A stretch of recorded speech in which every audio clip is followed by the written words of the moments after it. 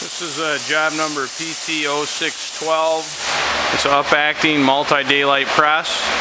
Press has a auto manual switch.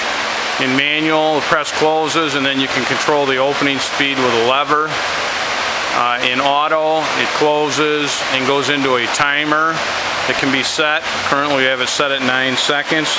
Once the timer times out, the press opens automatically. I'll go ahead and do a manual cycle. Press comes up to tonnage, which is adjustable on the gauge, and at that point, it shuts off and holds. Um, that function happens in auto and in manual.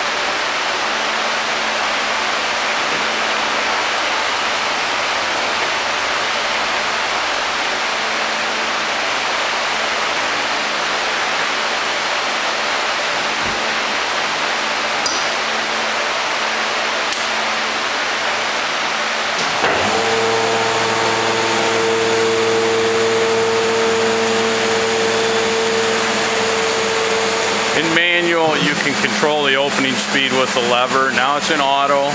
Press closes, comes up to tonnage, shuts off, the light comes on. At that point, the timer starts.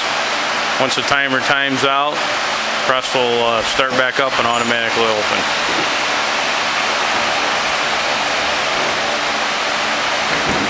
Uh, that completes the cycle on uh, PT 0612.